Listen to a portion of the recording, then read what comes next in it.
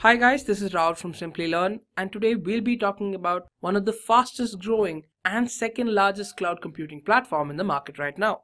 I'm talking about Microsoft Azure. Now before we begin, let's talk about what we'll be covering in this video. First, we'll talk about why you should be interested in cloud computing, what exactly is cloud computing, what is Microsoft Azure, some of its services, and the users of Azure. Now, let's start with why you should be interested in cloud computing. Now, let's say you have an idea for a revolutionary application, an idea that ticks both the boxes when it comes to good applications. One, it has great user experience, and two, it'll be highly profitable. Now, for it to be successful, you'll have to release it on the internet. People need to use it, they need to spread the word, and then it'll become truly famous. However, for that, you're going to need servers, storage, developers, a dedicated network, and application security to ensure your application works the way it does. Now, these are a lot of components, and that's where the problem lies. There are two major disadvantages to this approach. The initial setup is very expensive and risky, which means this requires a huge amount of capital upfront to ensure that it works properly. And the downside is if your application does not become famous or it doesn't return as much as you expect it to, you're probably not going to get the money back, which means it provides a huge amount of risk. And then on the flip side, if it does become famous, your number of users have increased, which means that you'll have to buy more servers and storage systems to keep up with your demand. And this problem can be solved with the help of cloud computing. Now that you know why you should be interested in cloud computing, let's go into the details of what exactly is cloud computing. Now, cloud computing is basically a platform that gives you access to a number of computing resources.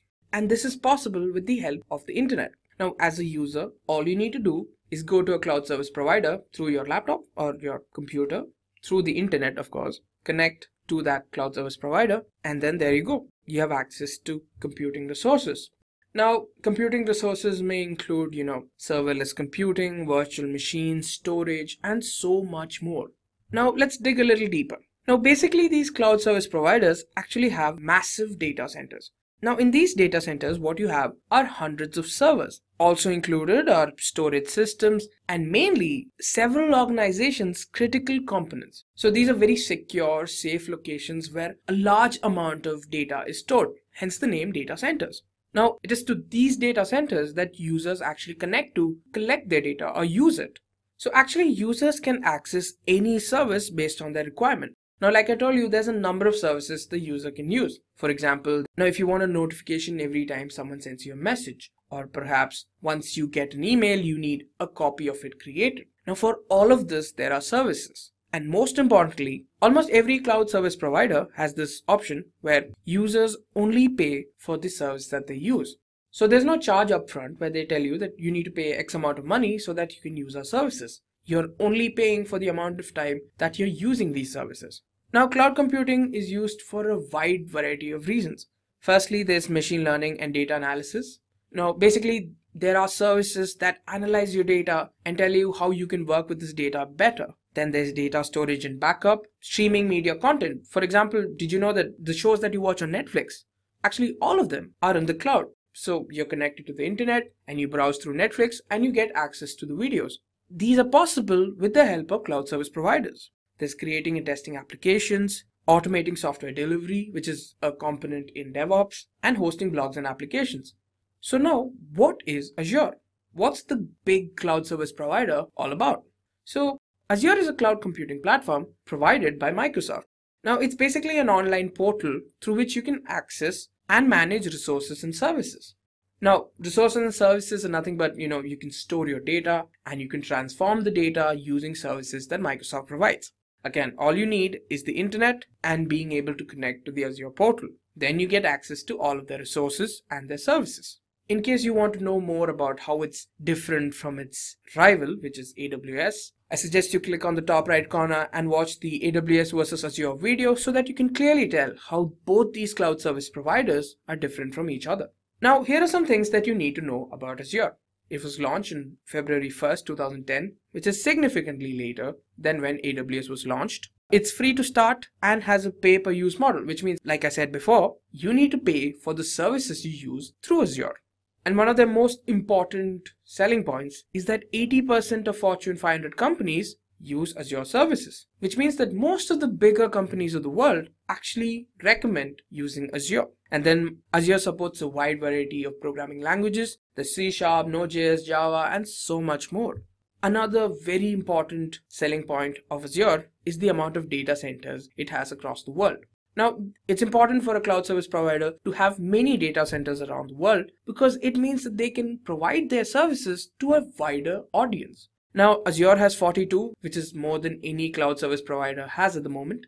It expects to have 12 more in a period of time, which brings its total number of regions it covers to 54. Now let's talk about Azure services. Now Azure services have 18 categories and more than 200 services, so we clearly can't go through all of them. It has services that cover compute, AI and machine learning, integration, management tools, identity, DevOps, web, and so much more. You're going to have a hard time trying to find a domain that Azure doesn't cover.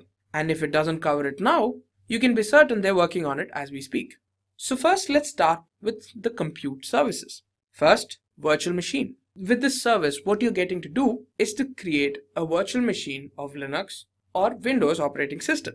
It's easily configurable. You can add RAM, you can decrease RAM, you can add storage, remove it. All of it is possible in a matter of seconds.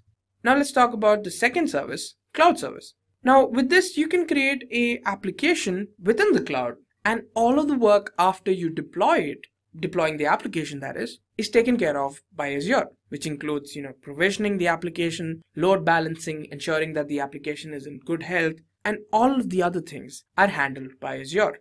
Next up, let's talk about Service Fabric. Now with Service Fabric, the process of developing a microservice is greatly simplified. So you might be wondering, what exactly is a microservice? Now a microservice is basically an application that consists of smaller applications coupled together. Next up, functions. Now with functions, you can create applications in any programming language that you want. Another very important part is that you don't have to worry about any hardware components. You don't have to worry what RAM you require or how much storage you require. All of that is taken care of by Azure. All you need is to provide the code to Azure and it'll execute it and you don't have to worry about anything else. Now let's talk about some networking services. First up, we have Azure CDN or the Content Delivery Network. Now the Azure CDN service is basically for delivering web content to users. Now this content is of high bandwidth and can be transferred or can be delivered to any person across the world. Now, these are actually a network of servers that are placed in strategic positions across the world so that the customers can obtain this data as fast as possible. Next up, we have ExpressRoute. Now, with this, you can actually connect your on-premise network onto the Microsoft Cloud or any of the services that you want through a private connection. So the only communication that happens is between your on-premise network and the service that you want. Then you have virtual network. Now with virtual network, you can have any of the Azure services communicate with each other in a secure manner, in a private manner. Next, we have Azure DNS. So Azure DNS is a hosting service which allows you to host their DNS or domain name system domains in Azure. So you can host your application using Azure DNS.